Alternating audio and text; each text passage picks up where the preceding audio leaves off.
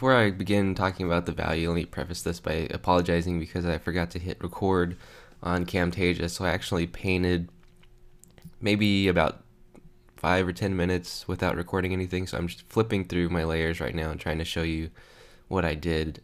Um, I had my line drawing set to multiply and I started painting the values below the line drawing and then painting on top of the line drawing opaquely. If you look down at the little picture in picture video, you can see that I had recorded myself with the real camera doing these steps. So it's going to be a little delayed on the bottom. I'm showing you how I'm filling in the value, and then in the normal Photoshop window, it's like 10 minutes ahead of that.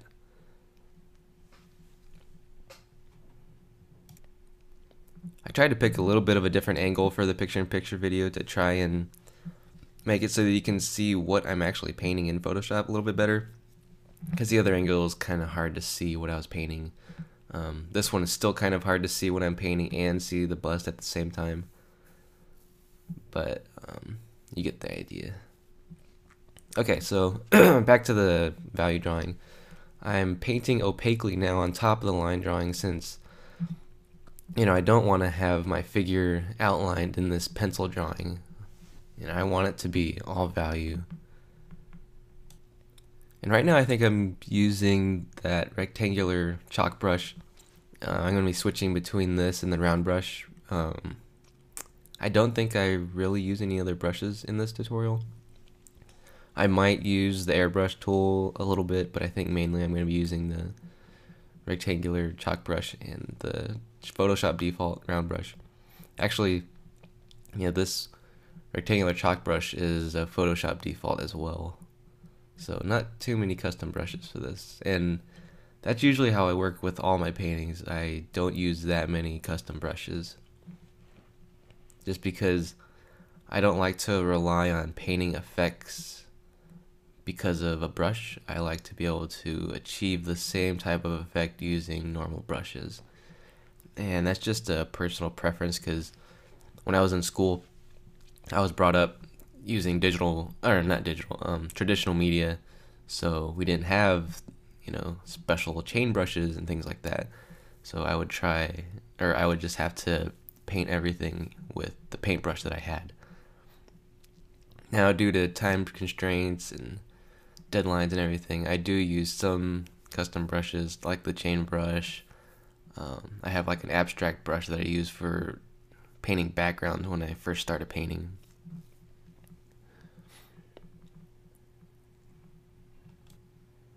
Okay, so now that when I'm color picking, that uh, radial dial thing pops up showing me which color I'm picking. So I'm actually using CS5, not CS3. Um, I switch in and out of the different CS programs. So I am in CS5. And I actually just got CS5. I think this is the first time that I'm using it. And I don't think I really take advantage of the new features in this tutorial. Um, one of the ones is the canvas rotate. You know, Painter had that option for years and Photoshop still had never put it in, but finally in 5 they put that in there. Actually, I think it was in 4 too, but I've never used 4. Okay, so now I'm going into the shadows right now, and I'm just painting in the cast shadow from the breast. And also painting in the reflected light and also the core shadow. So I'm just squinting now and looking at the model, trying to compare the values. Trying to fix some of my edges. And I'm thinking about the values, the shapes. I'm thinking about my edge control, the hard and soft edges. So this right here, I'm softening this part right here, and then up towards the shadow up here, I'm going to be painting in a harder edge. So within this one little muscle shape, I'm getting a hard edge and a soft edge. The other thing I forgot to mention when I started adding the value is that if you notice on the layer below the one I'm painting on, the one that has the layer mask, that's my line, um, where my line drawing is. a lot of times when I have a line drawing and I want to paint opaquely on top of it, I try and create a layer mask so that I can erase out the line work but still have it there if I ever need to go back to it.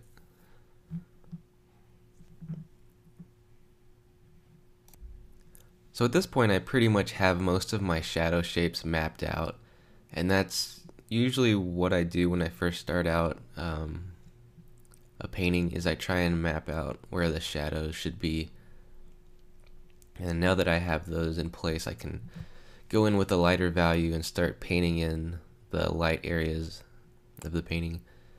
And so I'm using the rectangular chalk brush I'm just painting in this lighter area on the chest. You'll notice I'm trying to paint in the direction that the different planes are going.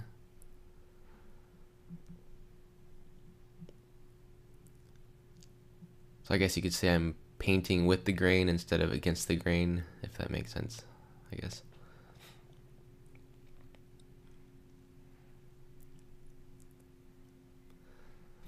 So even with these textured brushes, um, you can still get a variety of edges if you make the brush small enough you can get a, a hard crisp edge.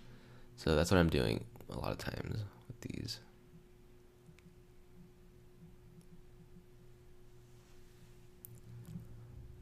So notice I'm color picking quite a bit and I'm not zooming in at all. I don't think I really zoom in for any part of this painting other than to show you what my brushwork looks like.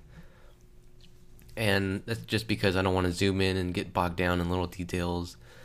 And when you're zoomed out, it's a lot easier to see your drawing as a whole and compare all the elements to each other and make sure things are lining up correctly. So here I opened up the reference photo in Photoshop so that you can see the bust a little bit more easily since the picture in picture video is at a different angle. So this way you can kind of compare what my painting looks like compared to what I'm seeing. Now this time the photo is actually opened up in Photoshop.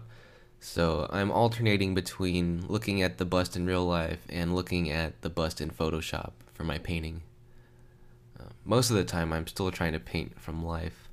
If you notice in the photo, the air, the shadow areas get super dark, so it's really hard to see what's going on, and that's where looking at the bust in life helps because I can actually see what those shapes are doing in the shadows. So you noticed me earlier using the um, marquee tool to kind of compare proportions. So I'm making a few little changes. Um, I think my the belly button was over too far, so I had to move that back over to like, the center line of the body.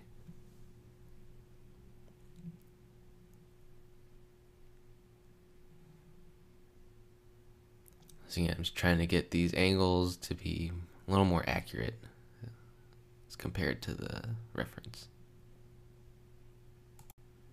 If you notice right below her right breast, there's this little shape and that's where the breast attaches to the chest. Now remember that the breast sets sits on top of the chest, so you're actually gonna have your rib cage and everything continue around your body and create overlapping shapes. And these overlapping shapes are things that will help you create a more realistic painting and also help with things like foreshortening and it's one of those things that a lot of times you don't really think about or remember to put in paintings when you're painting from your imagination.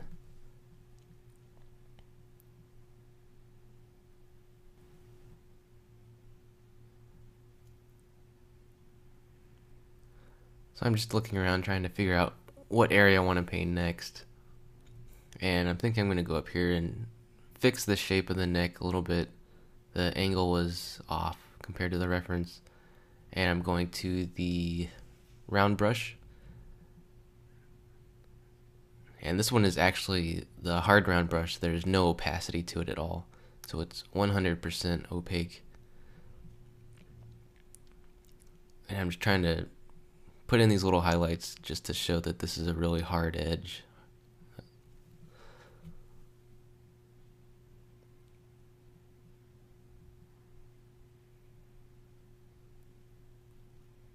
I'm going to go and um, paint in the background. So I'm selecting the background layer. So that's behind the painting. So you'll see that um, on some of the layers above, I actually painted the background back in. So I'm going to go up and change it to multiply. That way I don't have have those uh, lighter lines on top of it. So this layer is on top of everything. And I'm just blocking in this dark area behind it just to make the figure pop more.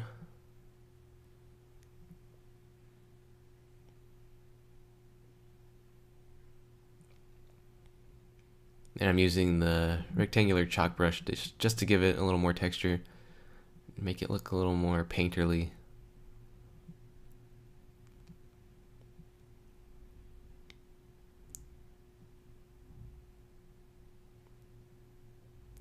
So I'm not being too careful. You'll notice sometimes I go over the body a little bit. I can just go back and paint those out later.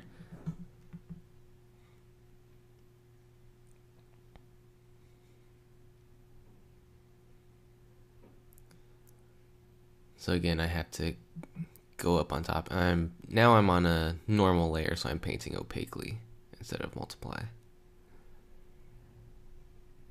I just don't want all these weird variations um, in the back. I kind of want to make sure that they're all the same color or tone, I guess, value.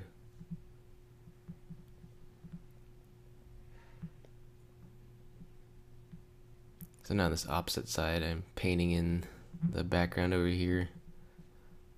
And I'm probably going to fade it off as I get higher, just to give it a little more interest instead of just painting everything black.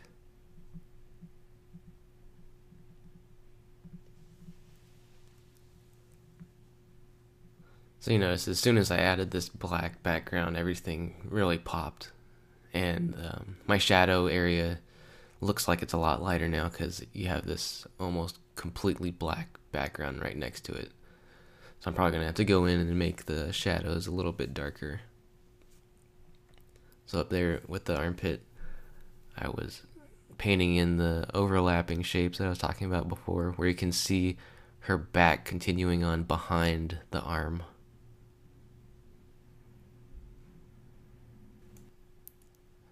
The other reason I'm not really zooming in very much is because I want to make sure that my painting doesn't become too detailed and refined, so I want to leave it a little more painterly. So painting zoomed out can usually yield a more painterly result because you're not zoomed in, you know, painting tiny little lines everywhere. You're using bigger brushes.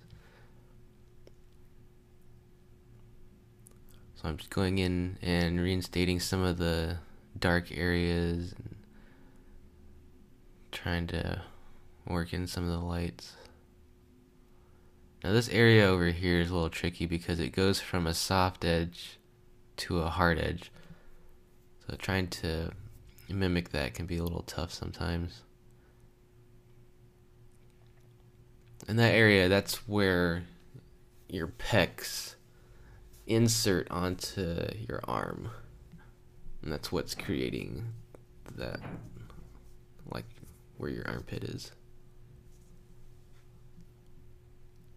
I think the insertion point of the pecs is on the lateral side of the humerus. A lot of times people think that knowing anatomy doesn't really help that much, and knowing where origin and insertion are of certain muscles don't really matter, but it does matter um, in certain cases. Especially when you're painting from your imagination. You know, when you're painting from reference, it's not as important because it's there right in front of you. But if you're trying to create it from your imagination, then you need to try and remember how shapes are on the body.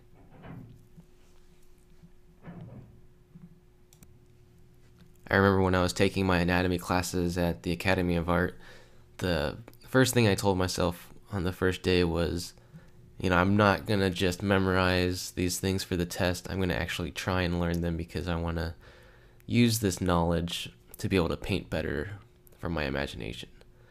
So, you know, starting out, I set a goal to actually learn the stuff. And for the most part, I remember a lot of it. I don't remember, you know, all the different muscles and all the different origin and insertions, but most of the major ones um, I still remember. So you'll notice I keep trying to go back into the background below everything and paint in the background, but I keep running into the problem where I had painted on top of it on another layer uh, the background color. And I do that a lot because I usually don't keep my figure separate from the background. That's just not the way I work. So when I do try and keep it from separate from the background, a lot of times I forget and I'll paint the background color around it. So that's one of those things that I usually have a hard time remembering to do. So because of that, I had to go on a layer on top of everything and paint in the background opaquely. So the background shapes, I'm just trying to get some interesting um, painterly shapes. I guess make it look a little more like charcoal or something. It's a good contrast, the loose textured brush shapes next to the hard edge outline of the bust. You'll see on the breast over here, I, I had painted over it because of the background, so I'm just going back in and fixing my drawing.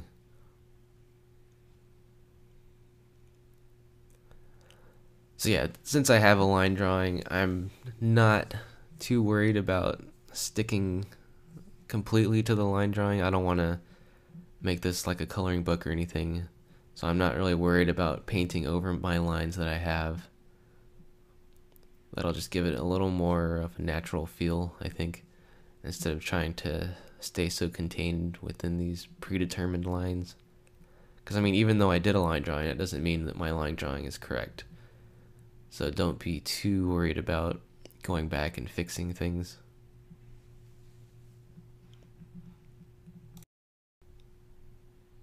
So now I'm continuing on to painting in the light areas of the bust and below the breast over here you'll notice is a good place to have this really sharp edge.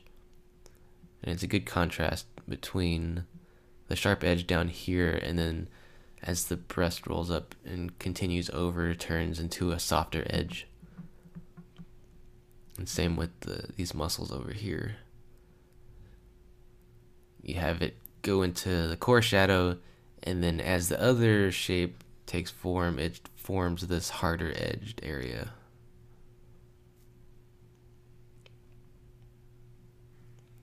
I think I'm still using the rectangular chalk brush for this.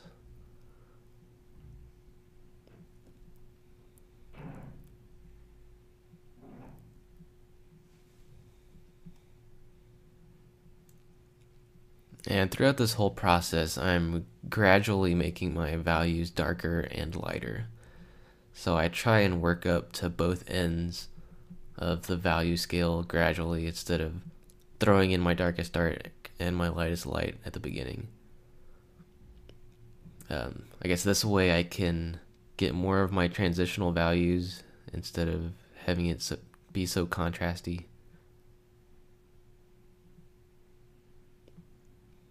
I'm just painting in this shadow shape over on the far shadow or far shoulder.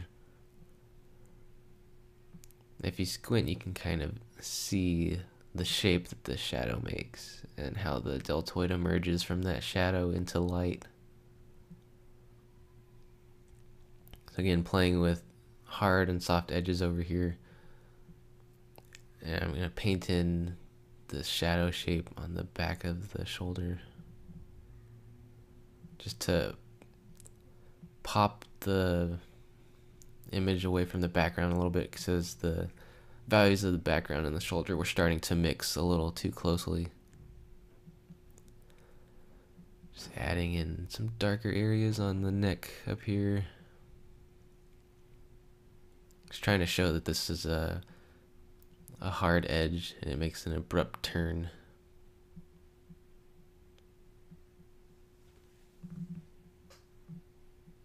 fixing some more shapes. That's how I usually paint. I will fix areas by painting the background around it instead of leaving the figure on a layer and erasing things out. I usually just use the paintbrush. And that's how you would paint if you're using traditional medium.